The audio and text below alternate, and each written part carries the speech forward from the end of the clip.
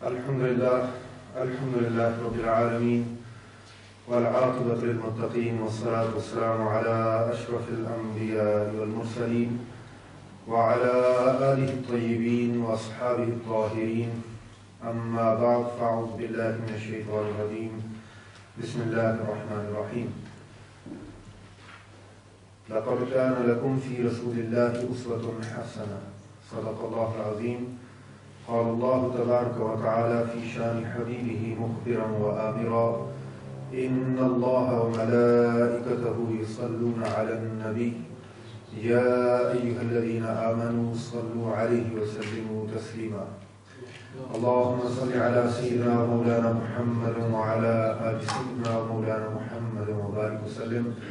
صلاة وسلام عليك يا سيدي يا رسول الله وعلى آلك وأصحابك يا سيدي يا حبيب الله.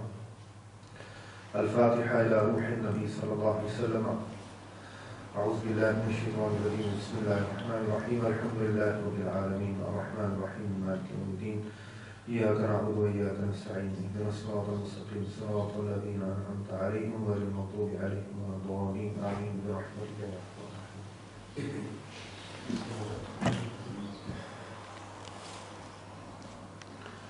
Alhamdulillah Ta'ala, we are gathered here to undertake the study of Shama'il al-Tirmidhi,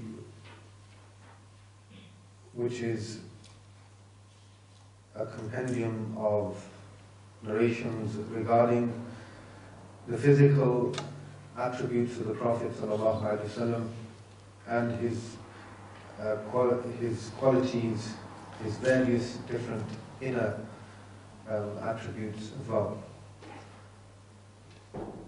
I've been, I was asked if I'm going to be doing an introduction. Unfortunately, with it being a six-week course or a six-week deadline, I'm going to try and jump straight into the book uh, without a detailed introduction.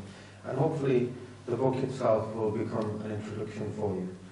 Um, I don't have the luxury uh, in, in six weeks. Um, I want to cover as much of the actual text as possible. Um, Imam Abu Isa Tirmidhi, he has created this book. Regarding the book itself, Mullah Ali Qari Ali Rahma, a very famous scholar and muhaddith, you know, his name sort of resonates throughout the Islamic world. And he's, uh, what he stated about this book is absolutely amazing. And he said that this is possibly the greatest work that has been authored regarding the seerah of the Prophet ﷺ, especially his physical appearance and his characteristics. And the way he phrased it, it's absolutely uh, amazing. He said, when you read this book, through every chapter it will appear to you as if you are beholding the beauty of the Prophet ﷺ. You're actually, you know, it will feel that you are seeing the Prophet ﷺ in front of you. And unfortunately, because you know we live in a time where we're not blessed with the physical company of the Prophet ﷺ, Allah subhanahu wa ta'ala has not bestowed this honor upon us. However, we owe a debt of gratitude to the companions of the Prophet ﷺ who have given us descriptions in as much detail as they possibly could regarding the Prophet ﷺ's physical appearance as well as his characteristics. So we owe a debt of gratitude to his companions for relaying this information to us. And then Imam Abu Isa Tirmidhi for collating this information and gathering this information and presenting it before us in the form of his book Shama'il. And Shama'il, again, just it, it refers to the characteristics, physical or inner characteristics of the Prophet. And so this is what we're going to be studying in the coming six weeks, inshallah. Imam Abu Isa Tirmidhi, um, it's not a promise depending on know, where we're up to at the end. if I have time, if we have time, and if uh, we can make time, maybe in the last session, once we've covered what we can of the book, um, I may give you a brief uh, biography of Imam Abu Isa Tirmidhi. So, but initially, all you need to know, he is one of the six Imams whose books are known as Sihah al-Sitta.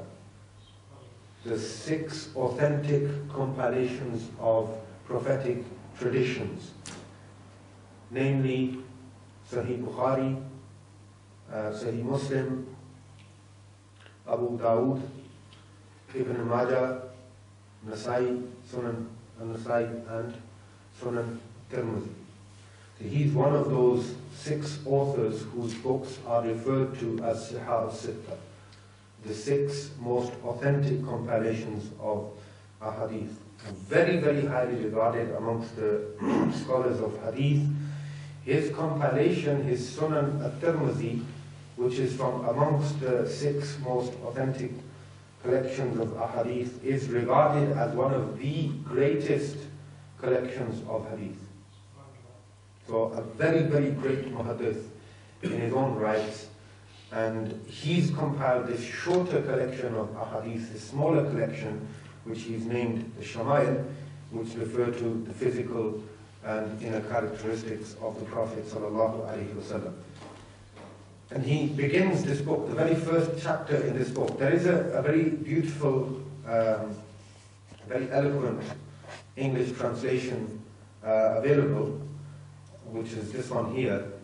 Um, and I'll leave this here on the desk uh, if any of you want to um, note it down. And this is something that you will, inshallah, uh, if we don't get through the whole book, then this is something that you can read through um, in your own time and finish in your own time as well. But we begin today with the first chapter, which is entitled by Imam Tirmidhi as uh, descriptions, physical descriptions of the physical features of the Prophet sallallahu. So the the hulya, the physical form and characteristics of the Prophet sallallahu and this is what he begins with. And the very first narration that he mentions is from Sayyidina Anas bin Malik ta'ala. This is a very great Sahabi companion of the Prophet very famous amongst the companions. And it's amazing, when the Prophet came to Medina Munawwara after the migration, people came with their gifts and to welcome the Prophet and people bringing all sorts of different gifts to present to the Prophet on this occasion of his arrival in Medina. Now, Sayyidina Anas radiallahu his mother, and you know, he's from a humble family. He didn't really have an extravagant gift to give to the Prophet.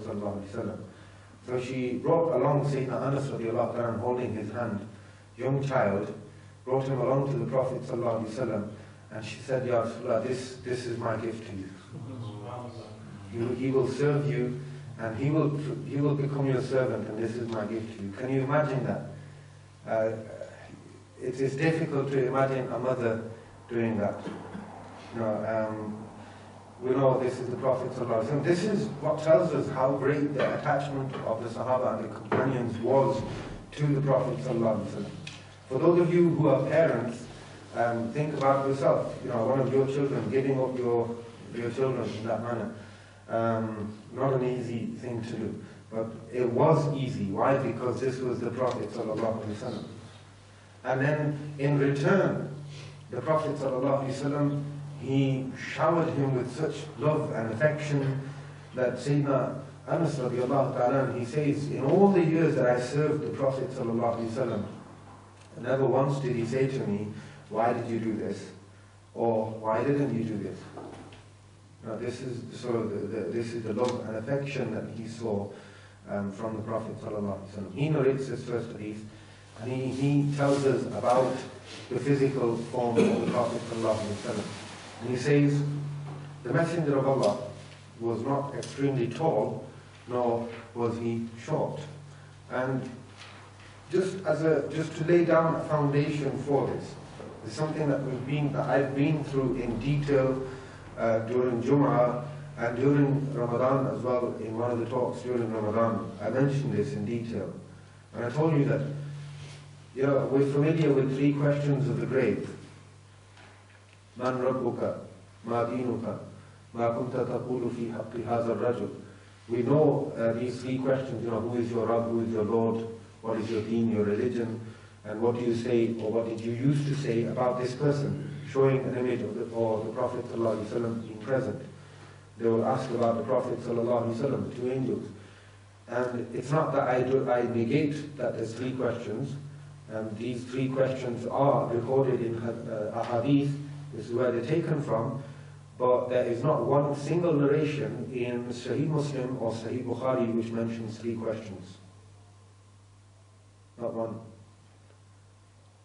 The only narration that is mentioned in Bukhari and Muslim and mentioned again and again, there's one particular narration which is mentioned in Sahih Bukhari 11 times. 11 times with different chains of narration, different people narrating. Imam Bukhari, he mentions that narration under different titles and chapters 11 times.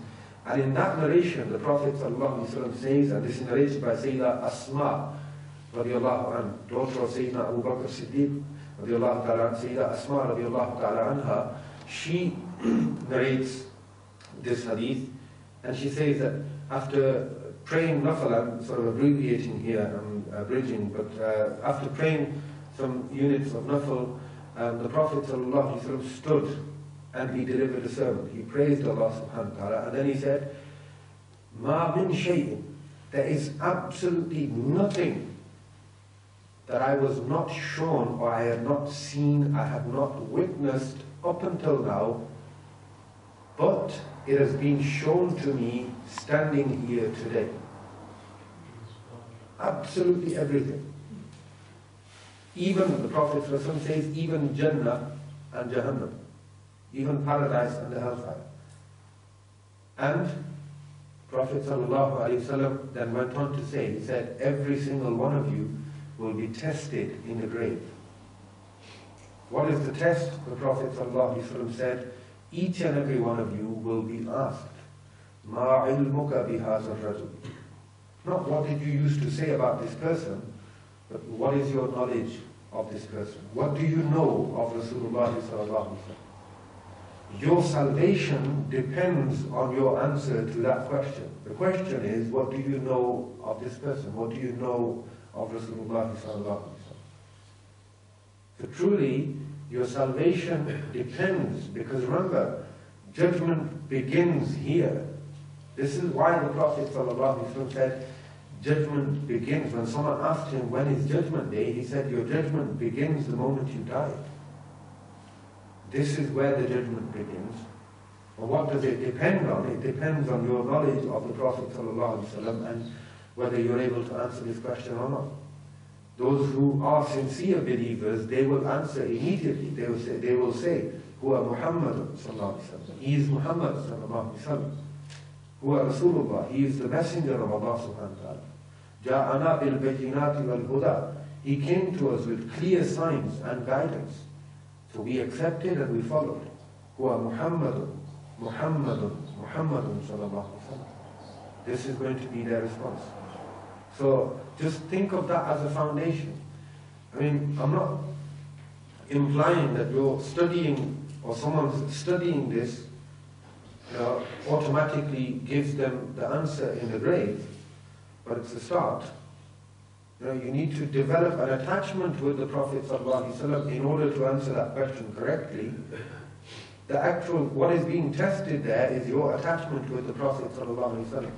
This is what your salvation depends on. How can you form this attachment with something which to you is majhul, which you have no knowledge of? Majhul means you know, something that you don't know anything about. How can you form an attachment with the Prophet ﷺ if you know nothing about him? So your attachment is what is going to uh, get you through the test.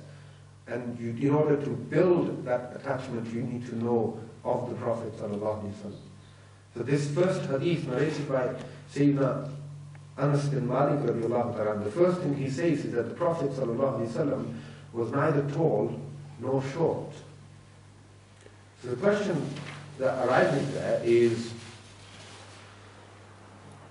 we know in certain narrations it tells us that the Prophet sallallahu alaihi wasallam, whenever he was in a large crowd or large gathering, he would appear to be the tallest. He stood out. Now, when you have a large gathering of people, you have people of different heights. But out of all of them, the Prophet stood out and he appeared to be the tallest. And yet the Sahaba, they say that he was of medium height. He wasn't too, he was shorter than, very short. In, in one hadith which is coming up, you will see, this is how it's described. He's shorter than the very tall and taller than the short. So in between. How is that possible? Well, this is a miracle that was granted to the Prophet by Allah subhanahu wa ta'ala. In that, in his actual stature, the Prophet was of medium height. No, his, his act, sorry? What is medium height? We- We're not given sort of a measurement in, in, in feet and inches. And I mean, this is the best that, that's given, the description that is given to us is medium height. Um, something that doesn't, you know, someone who doesn't, when you look at them, appear to be short or um, extremely tall. So we, we aren't really given a real, uh, something to compare with in that sense or a, a, a measurement in, in feet or inches. This is how the Sahaba, they describe the Prophet ﷺ is of medium uh, height. Um, and the thing about the, the miracle was that being of medium height, the actual stature of the Prophet ﷺ being uh, medium, when he was in a large gathering, he appeared to be the tallest amongst them. He stood out amongst them. And this was a miracle granted to the Prophet ﷺ by Allah subhanahu wa ta'ala. This is something that Imam Ahmad Raza, he makes reference to in one of his uh, beautiful couplets as well. He says, Sari uncho me uncha jise. You perceive him to be the tallest of all those who are tall. So amongst tall people, you perceive him to be the tallest. Hai us unche se uncha hamara nabi. Our Prophet is even taller than him. Talking here not only, not only of his physical, this miracle that amongst a group he would appear the tallest, but also with regards to the Prophet ﷺ's rank, you know, far outranking anybody else um, in the creation. So um, this is something that Imam Ahmad Raza he makes reference to as well. Sayyidina Anas bin Malik the first thing that the Prophet wasallam was neither tall nor short. And he was neither extremely pale nor sort of uh, dark skinned. He was in between. Um, not too tall, not too short, not too fair skinned, not too dark skinned. And the blessed hair of the Prophet ﷺ was neither curly nor straight. It wasn't curly all the way through, it wasn't straight all the way through, uh, wavy if you like, or slightly curly hair in between. And in this particular narration, Sayyidina Anas radiallahu anhu, he says that Allah subhanahu wa ta'ala commissioned him, Allah subhanahu with divine revelation, Allah subhanahu wa ta'ala gave the Prophet wasallam, uh, sent him the first revelation, and the Bi'sa of the Prophet wasallam occurred at the age of 40. And he remained in Mecca for a further 10 years, and in Medina for 10 years, and the Prophet ﷺ left this world physically, departed from this world at the age of 60. You might, be, you might have heard something different about the age of the Prophet. What, what do you normally hear? 63. The answer to that is, generally in speaking, um, especially in, in the Arab culture and so on, generally um, sort of the extra numbers are rounded down or rounded up. And so, you know, when it says 10 years in Makkah after the Bi'sa, um, it, you know, it doesn't include the extra couple of years, it just rounds it into 10 years. So round numbers, basically 40 years up to Bi'sa, 10 years, a decade after the Bi'sa, a decade in Medina. And so giving you a round figure. So it's not that those narrations are incorrect. Those are uh, more widely accepted and there are more of them. But this one, one way of understanding is that it's just giving you uh, round figures and giving you uh, sort of round numbers to, um, as was uh, customary. This is the description. Um, he says that he, at, at, at the time there were no more than 20 hairs in the Prophet Prophet's blessed head and beard that had turned white. So this is when the Prophet passed away physically, departed from this world. By that time, there were no more than 20 hairs on the Prophet ﷺ's head or his beard that had turned white.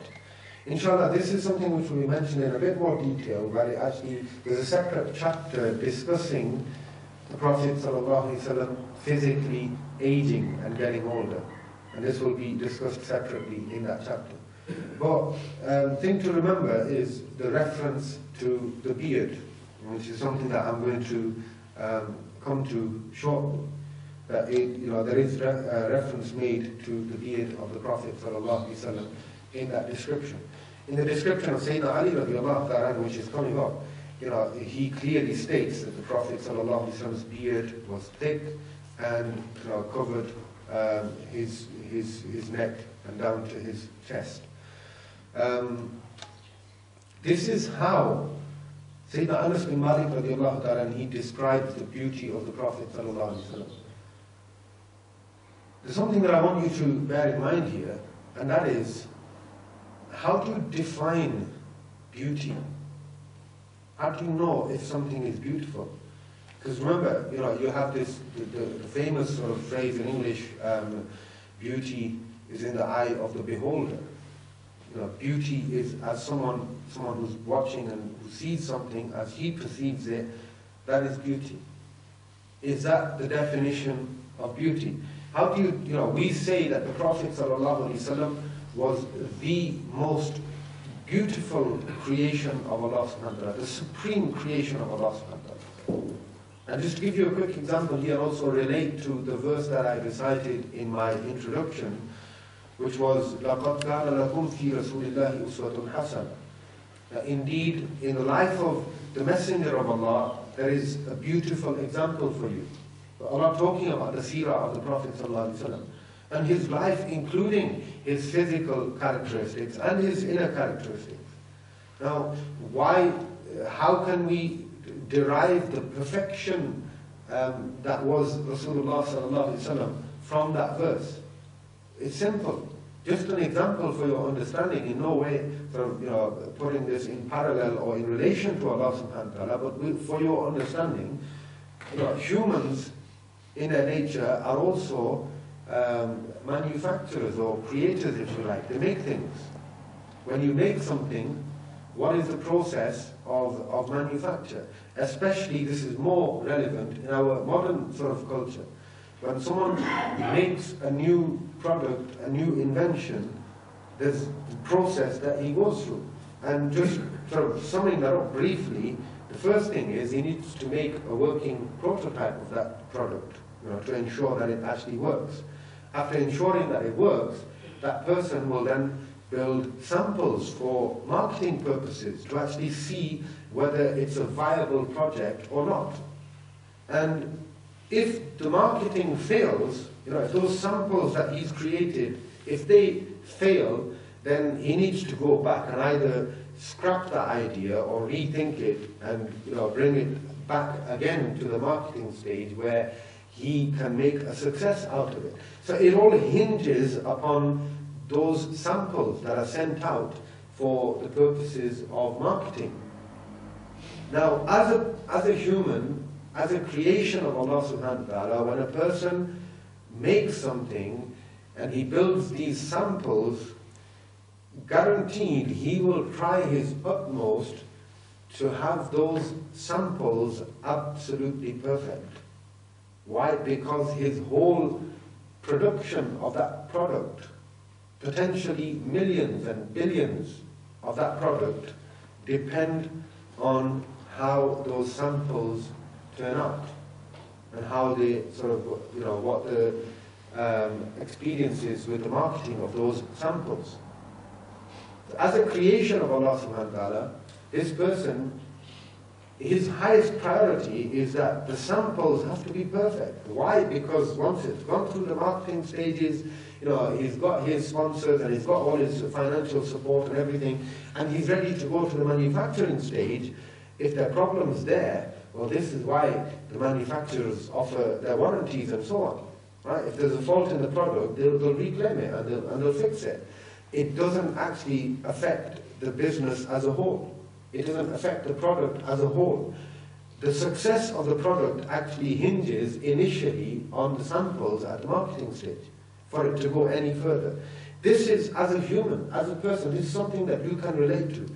Now, completely putting that out of your mind because never assimilating anything to Allah subhanahu wa ta'ala, but now taking you to Allah subhanahu wa ta'ala, the supreme creator, the creator of everything. And he who created the universe without any samples, without any blueprints, without any prototype. He said, Kun, be, and it became. This is Allah subhanahu wa ta'ala. He's creating an example, he's creating a sample, someone for us to follow, guidance for the whole of mankind from the moment that he announces his prophethood up until the end of time. Anyone who comes, the Prophet ﷺ is a minaret of guidance for that person. Just as much today, 1400 years on, as he was when he was amongst the Sahaba with his physical being in this world. So, and will be until the day of judgment. Is it possible then, Allah subhanahu wa ta'ala, the supreme creator, whose creation is that he wills something into existence. Put it simply, he simply wills something into existence. When he wants something to exist, it exists. He is creating a sample, a sample who's going to guide his people from 1400 years ago up until the day of judgment. Can you imagine or perceive that Allah subhanahu wa ta'ala, the supreme creator, who wills things into existence, would leave room for faults within his sample. Right? This is how you can derive perfection from that verse. Allah subhanahu wa ta'ala says, لَقَدْ كَانَ لَكُمْ فِي رَسُولِ اللَّهِ أُسْوَةٌ حَسَنَةٌ You have a beautiful example, perfect example in the life, in the seerah of the Prophet and he truly was perfect. The Prophet was perfection personified in his physical being, in his inner characteristics, in every manner and every respect, the Prophet was perfection. Now coming back to that point, how do you define beauty? How do you define perfection?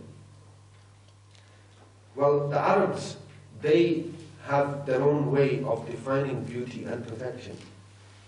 And if I'm honest with you, I haven't come across a better definition of beauty and perfection in all my studies, in anything that I've ever come across. I've never come across a better definition. And I think you, when, I, when I tell you, you will agree with me. Beauty and perfection is for all things to be in moderation. All right? Beauty and perfection is for everything to be in moderation. Look at the descriptions of the Prophet. Moderate, not too tall, not too short, moderate. Not light, too light skinned, not dark skinned, moderate. His hair, not too curly, not straight, moderate. His nose, not sort of too high, not too pointed, moderate. Everything about the Prophet ﷺ, complete perfection and completely in moderation. Can I just say, Yes. um, Western studies actually, you know, they're comparable with that. They do say that beautiful first, if you measure their features, they all have to be average, and there's a university accepted beautiful and horrible. Yeah, so we, uh, some input from one of the sisters there, something that is, you know, Western research um, also has come to, you know, similar conclusions that uh, beauty is being average, being moderate. And when you measure the features, they will all be sort of average and moderate. And this is a type of beauty that will be universally acclaimed as beauty. This is, uh, this is how we begin with this description, physical description of the Prophet ﷺ by Sayyidina Anas radiallahu. The next hadith is also narrated by Sayyidina Anas radiallahu and he says that the Prophet ﷺ was neither tall nor short, and he had a handsome form. His hair was neither curly nor completely straight.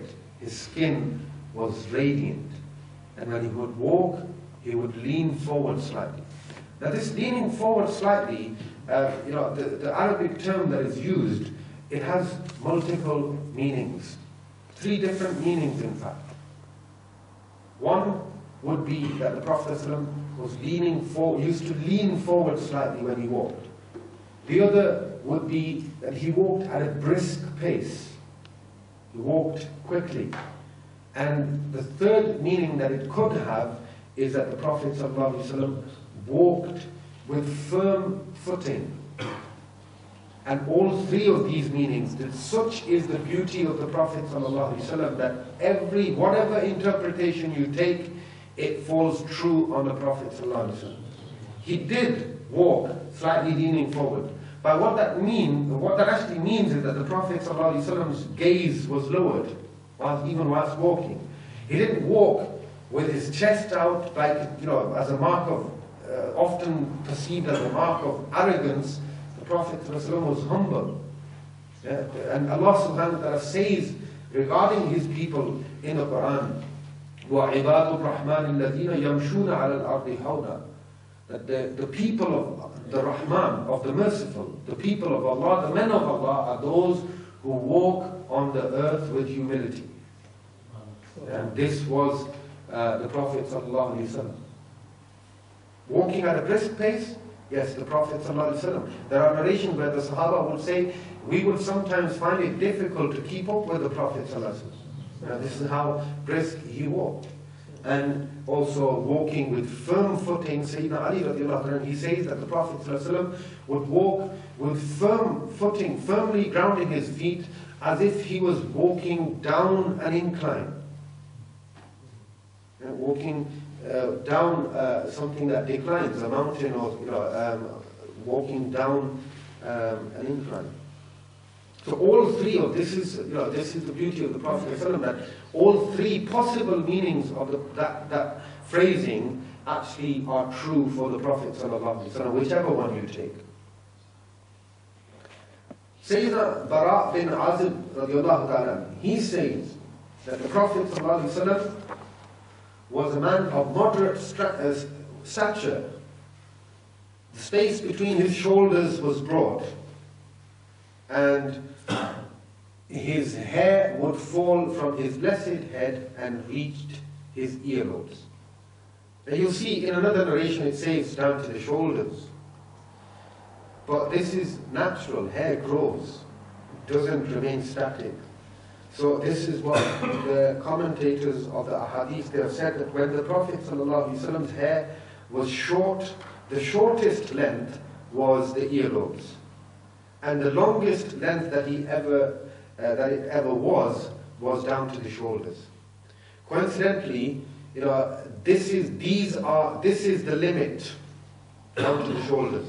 This is the limit, and possibly this is where the limit is derived from by the fuqaha, is any longer for a man is haram. Why? Because it then becomes, uh, he's then, uh, sort of, it becomes similar to the female form. And trying to assimilate for a female the male form and for a male the female form is haram. So this is the, this is the cutoff point. um, you know, any shorter, and for a female, again, the same ruling, because then it resembles a man. Longer than that, and it's haram, because it resembles um, a female. So this is, this is the minimum from the earlobes and maximum down to the shoulders. And there is, you know, obviously there's one occasion, which is the, uh, you know, the occasion of the pilgrimage, where the Prophet ﷺ did um, remove all of his hair. That's one occasion. But other than that, the Prophet ﷺ's hair was always long, it was always from below, uh, from the earlobe down to uh, sometimes up to the shoulder.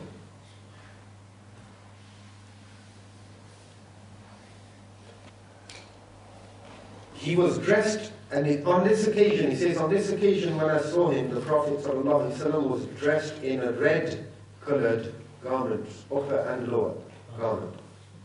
And he says, I have never seen, and it's amazing how he says, he, he don't actually say anyone. He doesn't say, I've never seen anyone more beautiful than the Prophet. He said, I have never seen anything more beautiful than the Prophet. Basically saying, out of all the creation, you know, of anything, any form, I have never seen anything more beautiful than the Prophet. This is how he saw and he envisaged the Prophet.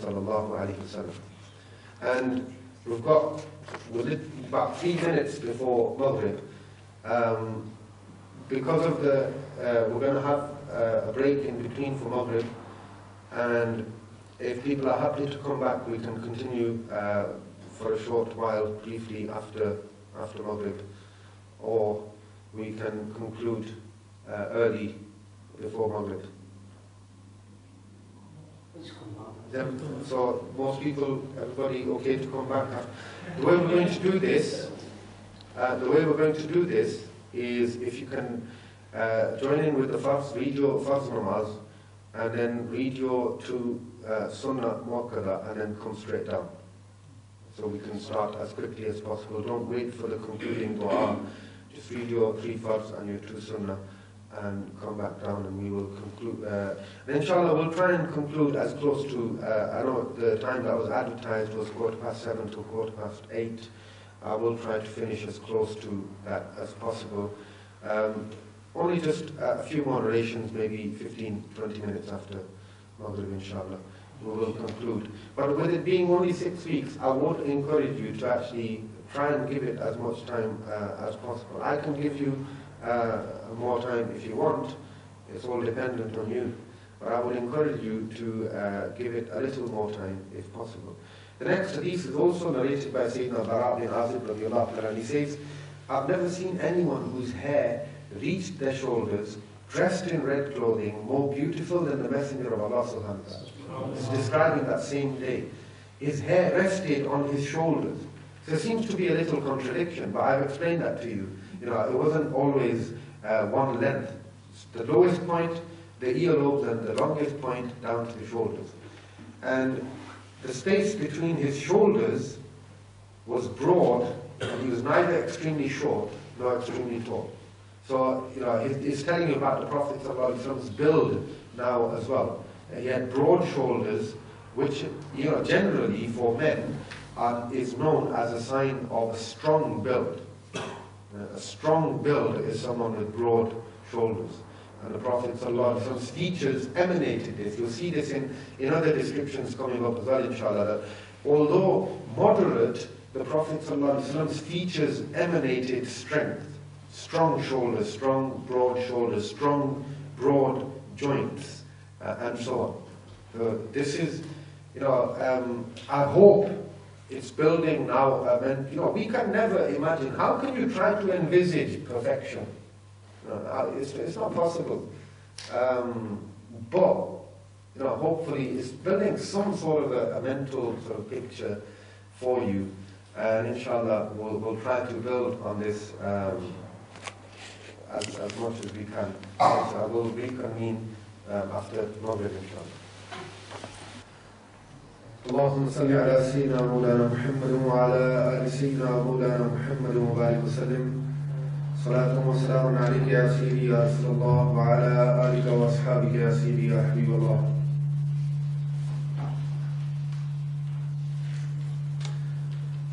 continue where we left off. Hadith number five is narrated by Sayyidina Ali ibn Qudar radiallahu ta'ala. Again, regarding the physical description of the Prophet ﷺ, he says that the Prophet ﷺ was neither extremely tall nor short. His palms and feet were fully flesh. In other words, um, no, they, they had uh, a good, a considerable amount of flesh on the palms of his feet and his hands.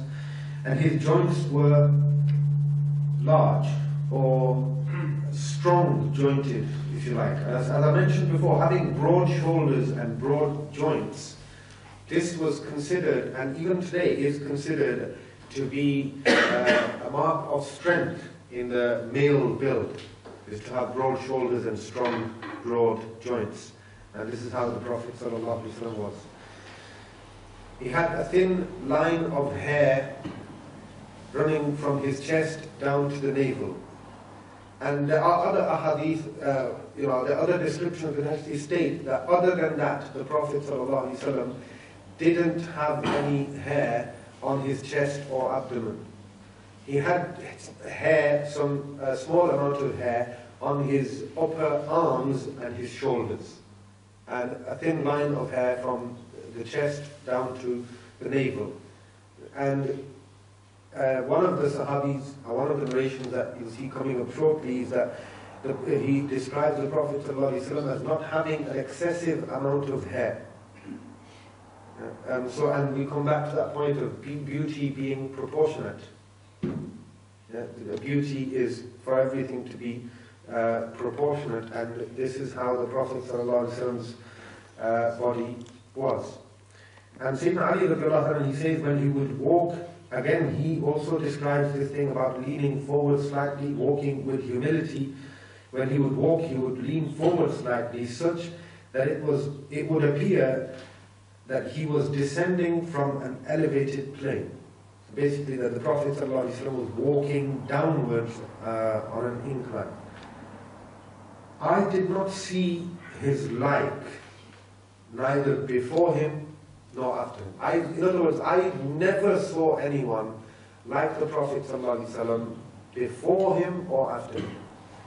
And this is generally, this is an expression of exaggeration. Now, when we say, never seen anything like that in my whole life, uh, it's, it's an expression of exaggeration. But here, this is a, a statement of fact. It is not an exaggeration. The Prophet ﷺ there was none like the Prophet ﷺ.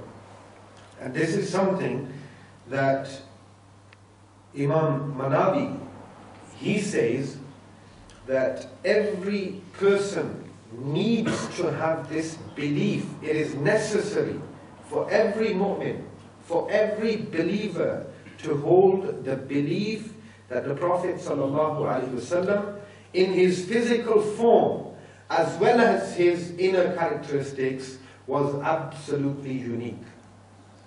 This is a statement of Imam Manawi. He says, on an aqidah level, uh, from a, an aqidah perspective, it is necessary for every believer to have the aqidah and the belief that the Prophet, no one resembles the Prophet ﷺ, neither in physical form nor in his in terms of his inner characteristics. So this is something uh, additional that Imam Manawi he mentions um, regarding the physical form of the Prophet and this belief. And this is something that we pick up from a hadith and from other aima, from other imams as well. And this is a belief that Ahlul Sunnah wal Jama'ah we hold it is our belief that there is no other creation like the Prophet Even amongst the prophets and messengers of Allah subhanahu wa ta'ala, the chosen ones, those who are the greatest out of his creation, even amongst them, the Prophet stands out as the Imam, as the leader, and the rest, his muqtadi and followers. And we see this literally happening on the night of Mi'raj, where the Prophet ﷺ is stood on the musalla of imamat, and behind him the Anbiya, the prophets and messengers are stood praying behind him. He stands out as the Imam. How, one way of this, of expressing this, and this is something that um, the, many of the scholars and ulama have mentioned regarding the Aqidah of Ahlul Sunnah, is that, and Imam Nabhani, he mentions this in his book, Hujjatullahi al Alameen. He says that one of the aqidas, one of the beliefs of the Ahlul Sunnah is that the Prophet was given every single miracle that was given to any prophet or messenger, they were all collectively given to the Prophet in similar or more clear form. In the same way or better. And on top of this, the Prophet ﷺ had certain miracles which were given only and only to him and to nobody else.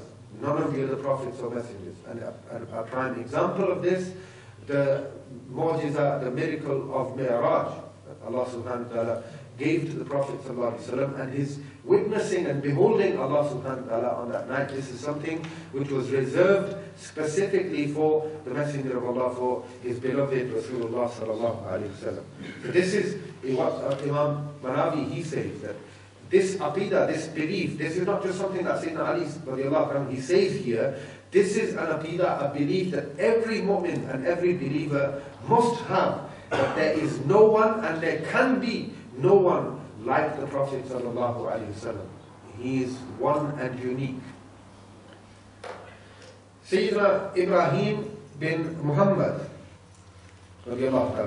he narrates from Sayyidina Ali radiallahu He was his, uh, he was a grandson of Sayyidina Ali radiallahu He narrates from Sayyidina Ali radiallahu he says that uh, he actually learned from the Prophet uh, from Sayyidina Ali radiallahu regarding the physical form of the Prophet sallallahu And Sayyidina Ali radiallahu he explained to him and he says that uh, the Messenger of Allah was neither extremely tall nor extremely short. We see this uh, uh, sort of description being repeated.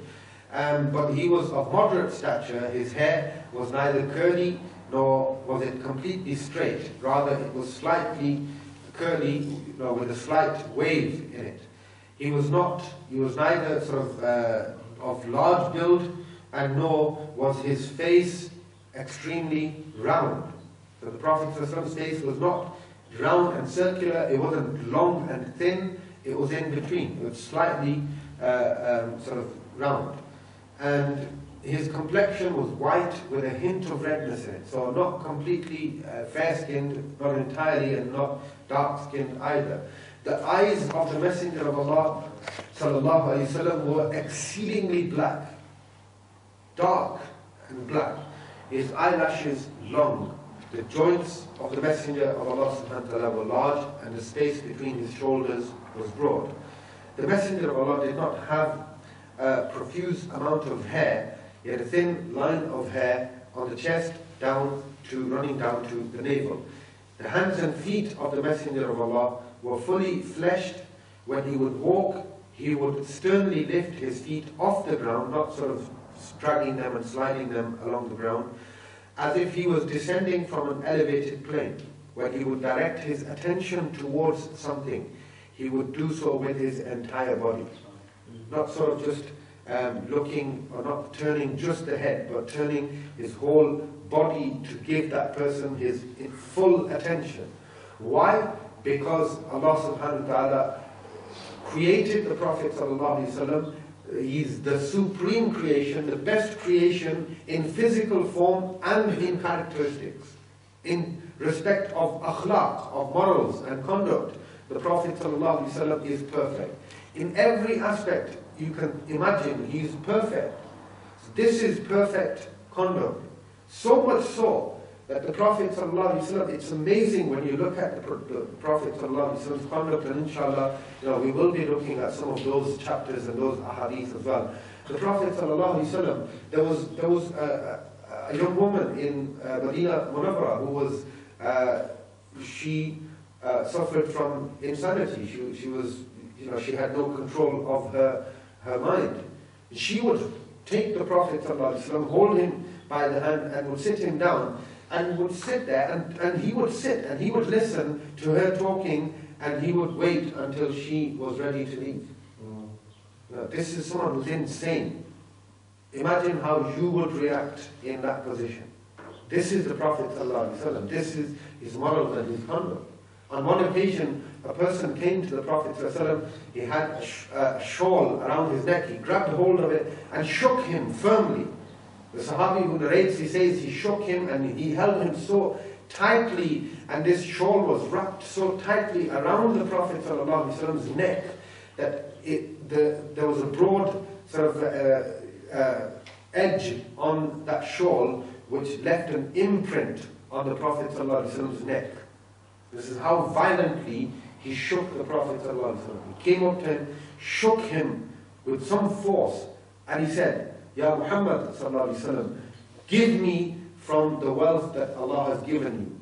It's not your or your father's wealth, it's Allah's wealth. This was his manner of seeking, of demanding. Now imagine if someone came up to you, someone in a position of need, any random person, not even somebody that you know, this was just a random Bedouin that turned up.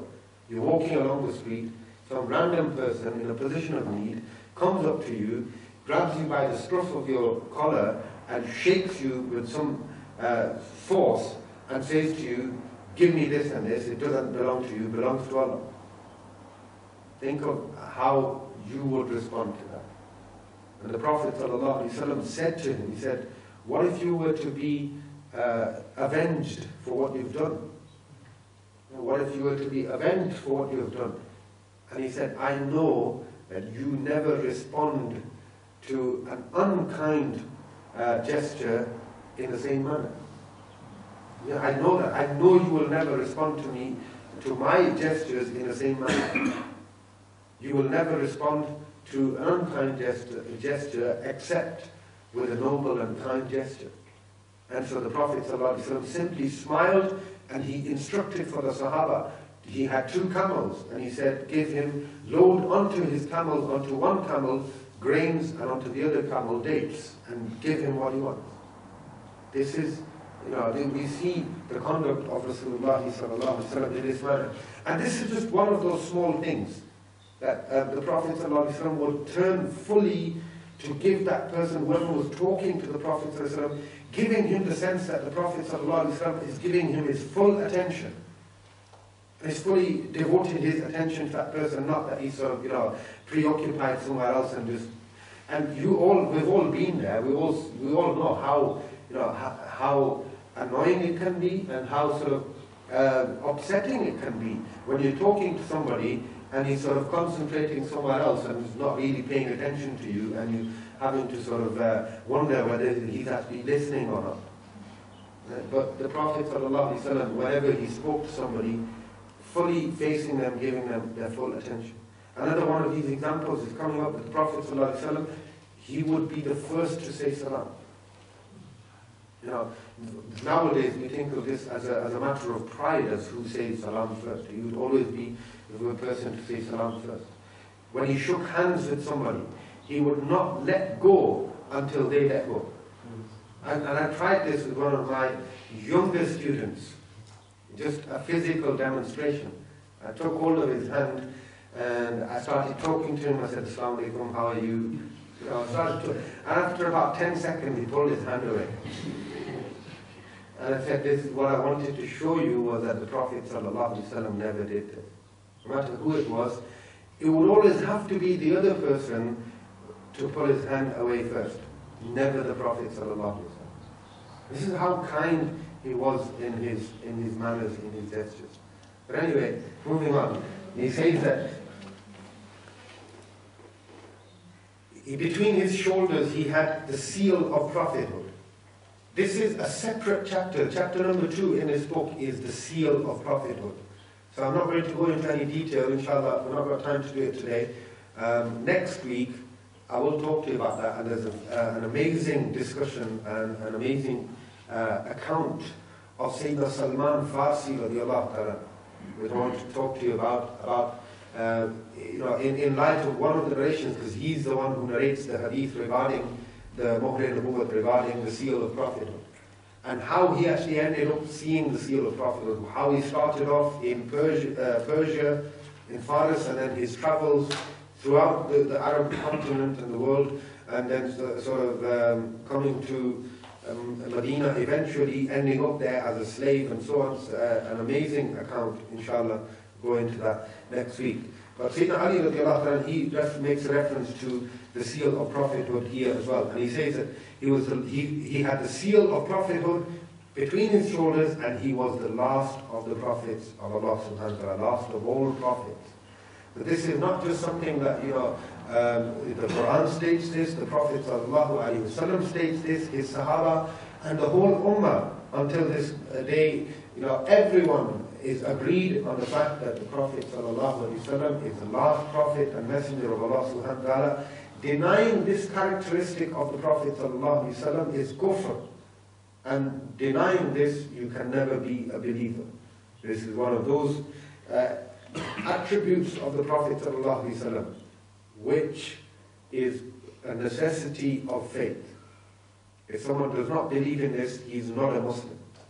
The Prophet ﷺ is the last prophet and messenger. No messenger, no prophet of any form, anyhow, will come after the Prophet ﷺ. Even Sayyidina Isa, uh, when he returns, he will not return as a prophet and messenger, as, as a prophet and messenger propagating his own religion and Sharia in that capacity. No. He will come to follow and to lead the Ummah of the Prophet and to strengthen and fortify the, the Sharia laid down, the law laid down by the Prophet So there is no prophet in any capacity, in any form, no prophet or messenger after the Prophet wasallam. And he says that he was the most generous of people from the heart. I mean, I could talk about the Prophet Prophet's generosity um, endlessly. But I've already given you an example of his kindness and his generosity, about how he treated that Bedouin who came and grabbed hold of him. And so I'm going to leave it at that. And most truthful of them in speech. So truthful, in fact, that Abu Jahl, the Fir'aun, the Pharaoh of this Ummah, the greatest enemy of the Prophet ﷺ and of Islam, he was once asked, he said, do you really believe that Muhammad ﷺ is lying? Do you believe that he's lying? Do you believe that he's not the Prophet and Messenger of Allah? And he said, this is a person that we've never, ever known to lie. And I don't believe that he's lying. But the Quraysh and these people, his family, you know, the family of Abdul Muttalib, they are the custodians of the Kaaba, you know, they have all the status that, you know, everything that includes any status amongst our society, they already have it. Are they now going to have the status of a prophet and a messenger within them as well? What is that going to be for us? This was his response. He said, I believe, I don't believe that he's lying. But if I accept him as a prophet and messenger as well, what does that mean for us? this is how truthful the Prophet was. This is why he was known as a sadiq and, and also his, his honesty and his trust, his being trustworthy, known as Al-Amin. He was the most gentle in nature and the most noble in lineage. And you know, this is a again, it's a separate topic. The noble, the purity of the lineage of Rasulullah sallallahu alaihi Inshallah, if I have the opportunity in the future, I will do uh, a couple of sessions just on the purity of the lineage of Rasulullah sallallahu um, because it requires uh, a bit of depth. Whoever saw him prior to becoming acquainted with him and acquainted with his huge attributes, his great attributes, would be, he would be left in awe, in, in shock, in amazement, and trembling. You know, the, I, I, am struggling to find a word that actually defines the word ru'b. You know, ru'b is a slight, uh, awe is, is the closest you'll get to it. Left in awe, in amazement, you know, it's, it's a mixture of emotions. Slight, you know, with a, slight sense of fear, uh, a, a, sense of not, you know, coming into uh, something for the first time, you know, being struck with absolute amazement and awe. This is Sayyidina Ali says, this is how he would be in front of the Prophet He would become mar'oob in front of the Prophet But he says then whoever then recognized him, knew who he was, and met with him, and had his company, would instantly fall in love with him. You would love him dear, more dearly than anything else. And whoever described him eventually came to the conclusion that I have never seen anyone like him before or after him. This is what Sayyidina Ali radiallahu said. That's an amazing, that, just that part, that extract. That's something Qadi Ayaz alayhi uh, rahmah, he narrates in his Ash-Shifa as well. This section from Sayyidina Ali. Said whoever saw him for the first time, he was left in awe. And who then, whoever met him and held his company, he would start to love him. And then whoever described him, the only thing he could say, and look at how Sayyidina Ali is saying it, that he concluded, you know, he, he, there was no other way of encompassing the beauty of the Prophet It's not possible for anyone to encompass the beauty of the Prophet he would, the only thing he could say was, I've never seen anyone as beautiful as the Prophet either before him or after him. That was the only way of expressing how beautiful the Prophet ﷺ. This is an expression of a person who's lost for words, who doesn't know how to express himself. Sayyidina Hassan bin Ali he says that I asked my uncle Hind bin Abi Hala, as he was amongst those who would describe the physical features of the Messenger of Allah, regarding the physical descriptions of the Prophet ﷺ.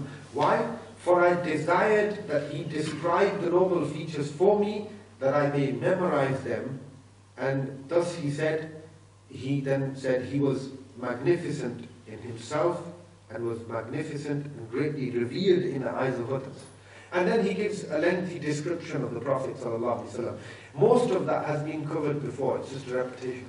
But the main thing here being Sayyidina Ali radiallahu, uh, Sayyidina Hassan bin Ali radiallahu he would have been a young child of seven or eight years of age when the Prophet ﷺ passed away. And so he asked his uncle, his maternal uncle, he says, describe the Prophet ﷺ to me. I want to learn about him. I want to memorize his physical features and his characteristics. Why? To try to replicate them. Now, this is why you're here today, or this should be why you're here today.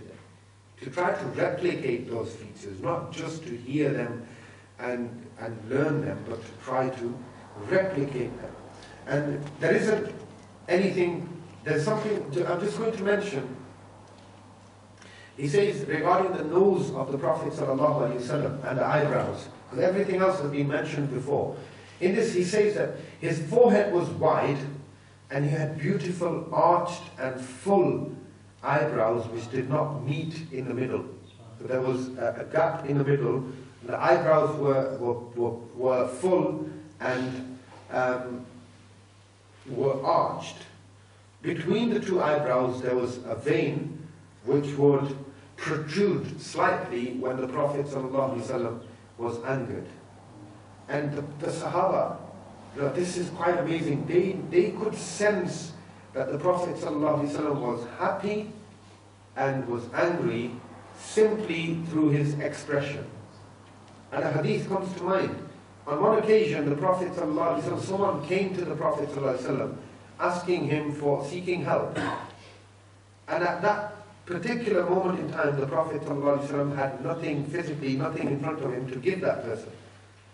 So he said to him, you know, everything he had that day he'd already distributed amongst the poor, and he said to him, go to such and such person, tell him to give you whatever you need, and tell him that Rasulullah will pay you back. So effectively, he said to him, go and take a loan from that person in my name, and I'll pay off your debt. And I believe you the Sayyidina Umar radiallahu who was sat there, and he said, Ya Rasulullah, why are you taking the trouble to go to these lengths? Now, surely Allah has not uh, made this compulsory upon you. If you don't, if physically, if there's nothing here, why are you going to, to all these lengths? And the Prophet ﷺ immediately became extremely upset. And then there was another Sahabi sat there, and he said to, he said to the Prophet, he said, Wallahi, Ya Rasulullah, give as much as you want to whomever you want. Allah subhanahu wa ta'ala will never let you down. Give, give whatever you want to whomever you want. Allah will not let you down. And the Prophet then began to smile. And this, this Sahabi, then he says that the Prophet began to smile, and when he was smiling, his face was radiant like the full moon. This is, the, the you know, it, again, we need to try and sort of uh, think about our lives in this perspective. How would we deal with something like that? Right? And the Prophet ﷺ going to these lengths. The you, we need to get this realization. The basic thing is we need to realize that this, everything that we have ultimately comes from Allah and it belongs to Allah. They spend from that which we have provided for them. This is what you need to realize.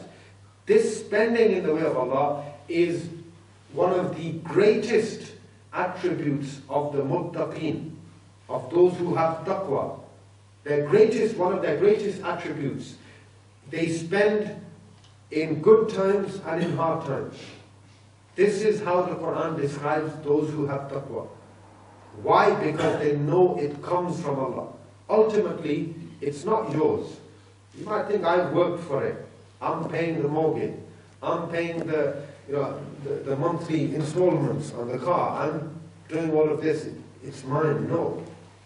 Who's given you the health and the tawfiq to earn this? You know, did everything you have, you yourself and everything that you have belong to Allah.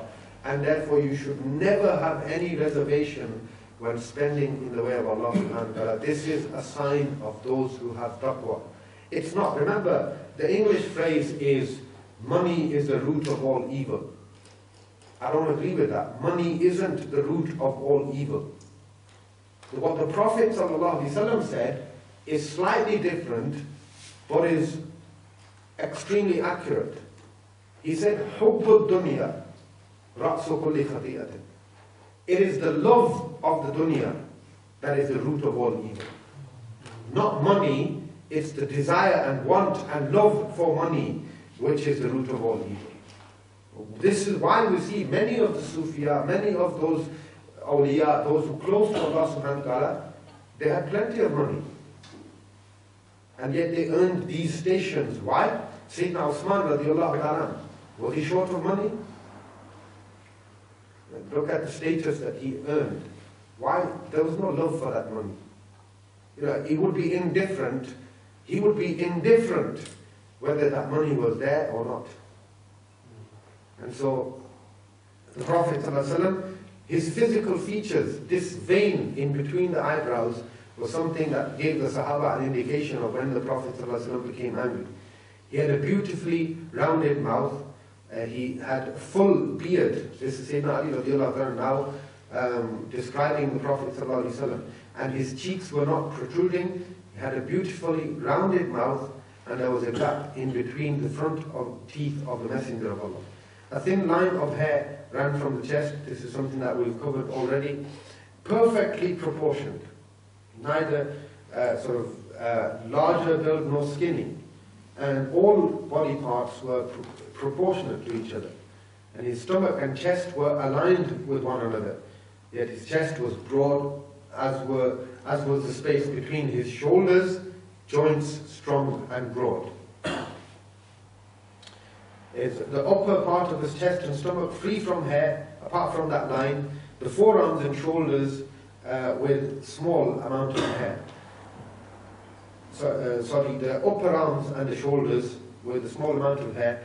The forearms, shoulders, and upper portion of the chest of the Messenger of Allah, small uh, sort of amount of hair. Forearms were long, palms were wide, hands and feet fully fleshed. Fingers and toes of the Messenger of Allah were moderately sized. The soles of the blessed feet of the Messenger of Allah were well arched. The feet of the Messenger of Allah were smooth, such that water would run off them. This is how smooth the skin of the Prophet was.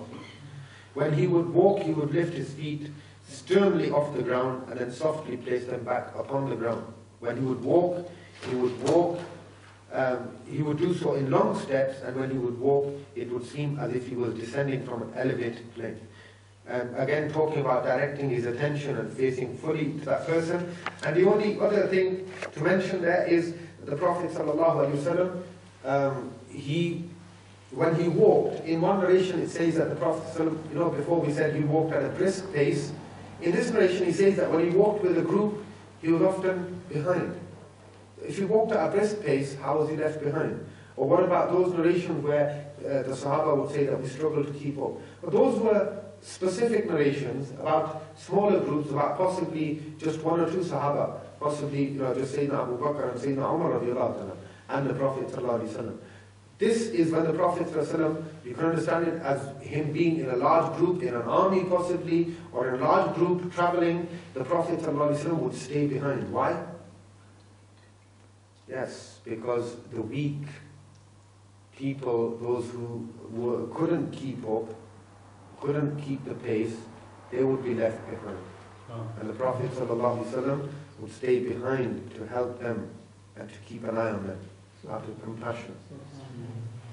Sayyidina Jabir bin Samura radiallahu he says the Messenger of Allah had a beautifully rounded mouth, wide eyes and little flesh on the heels. Sayyidina Jabir bin Samura again, he says, I saw the Messenger of Allah on a night when the moon was in full splendor and he was dressed in a piece of red clothing. I would momentarily glance at him, then at the moon. And eventually, he says, I came to the conclusion, by Allah, he was more beautiful than the moon. Sayyidina Abu Ishaq, he reports that someone asked Bara bin Azib radiallahu that was the face of the Messenger of Allah like a sword and you know, implying that a sword is shiny and sharp, and he said no. That the face of the Prophet ﷺ was like the full moon. Uh-huh. And uh, why? Because the, the, sharpness of the sword and the glint and glare of the sword is different to the, the nur, you know, uh, of the moon and the light of the moon in that sense. And Abu Hurairah, he says that the Messenger of Allah was was of such clear radiance, it was as if he was forged out of silver. Uh, amazing way of describing the Prophet ﷺ, and his hair was slightly wavy. Sayyidina Jabir bin Abdullah, he says, the Messenger of Allah um, says that the prophets were presented before me. I found that Musa al-Islam was of medium build, as if he was a man from the people of uh, you know, one of the tribes of Makkah, uh, of Arabia, the Prophet described him as you know, being slender. You see, he described, said the Prophet described Sayyidina Musa as being slender. And he said that um, I saw Isa Islam and he, uh, Urwa bin Mas'ud resembles him. One of the Sahaba, he said, you look like, or he looks like um, Sayyidina Isa salam. And he says, I saw Sayyidina Ibrahim salam, and I resemble him. Out of all of you, I look like him the most. I resemble him the most. And um, Sayyidina Abu Tufail, uh, um, he says that I saw the Prophet ﷺ, and there remains not a single person on the face of the earth who has seen him. He is, this is the last Sahabi to pass away. Uh, 111 Hijri, uh, his death, is, his passing is recorded. And when he described, he said, on the face of the earth today, there is no one else who has seen the Prophet. These are the only eyes left in this, uh, in this world, on this world, that have seen the Prophet. And he says that so someone asked him, describe him for me, and he said he was of a white and blossoming complexion and incredibly beautiful. And he was a man of moderate stature. Abdullah bin Abbas, he says that the Messenger of Allah had a beautiful gap between his front teeth. When he would speak, light would be seen emanating from between his teeth. Some of the commentators have said that this is a metaphor that light is describing uh, the words of the Prophet But Imam Manawi, he says no. He says this was actual nur and light which shone from in between the, the teeth of the Prophet and this is something which Sayyidah Aisha radiallahu anha, she's also described as well. And coincidentally, someone um, uh, asked me recently, well, during Ramadan, about uh, the, the, the, comparison that Sayyidah Aisha radiallahu anha, she draws with the beauty of the Prophet and the beauty of Sayyidina Yusuf alayhi. And it's not a narration per se, there are, there, there are a couple of uh, uh, couplets of poetry that Sayyidah Aisha radiallahu anha, she has said about the Prophet and uh, uh, briefly translated, what they say is that those women who saw Yusuf salam and cut their fingers, cutting through the fruit, they carried on and they cut their fingers, had they, Sayyidah Aisha radiallahu anha, she says, had they seen my beloved, the Messenger of Allah sallallahu alaihi wasallam, they would have torn out their hearts and cut through their hearts. This is you know, this is the beauty of Rasulullah. The bottom line being that anyone who has tried to describe the beauty of the Prophet ﷺ has been lost for words. And this is why you know, the Prophet ﷺ himself stated this, the Sahaba, and you know, the, the scholars, they state that the true beauty of the Prophet ﷺ was never exposed to the world. Why? Because people, if it was they would never have the ability to, uh, to behold it. They won't be able to sustain that beauty. They can't behold such beauty. It is never fully exposed. This, you know, um, this is the beauty that is the perfection of Rasulullah and we'll conclude there. Everyone concluding with the words that I've never seen anyone more beautiful or as beautiful as him. Before him or after him. I ask you to wonder and think, ponder over those words. The conclusion that I've come to is that they were lost for words. There is no other way of describing the beauty of the Prophet. All they could say is, never seen anything as beautiful. And this is why, event, you know, Imam Ahmad Raza, in his uh, poetry talking about the Prophet ﷺ, um, he eventually he offers the same sentiment. He says, "Akhir radane khatm sukhan is He says, "I've had to. This I'm lost for words, and this is all I can say. You know, this is where I end it. I draw the line at this. Khalik ka banda, khalq ka aka kahun tujhe. You are the servant of Allah and you are the master of the creation. That's all I can say. And inshallah, we will continue uh, next week at the same time, quarter past seven. اللهم صل على سيدنا مولانا محمد وعلى ال سيدنا مولانا محمد وبارك وسلم اللهم ربنا تقبل منا انك انت السميع العليم وتب علينا انك انت التواب الرحيم اللهم ربنا آتنا في الدنيا حسنة وفي الآخرة حسنة وقنا عذاب النار. صلى الله تعالى على خير خلقه محمد وعلى آله وأصحابه أجمعين برحمته يا رحمة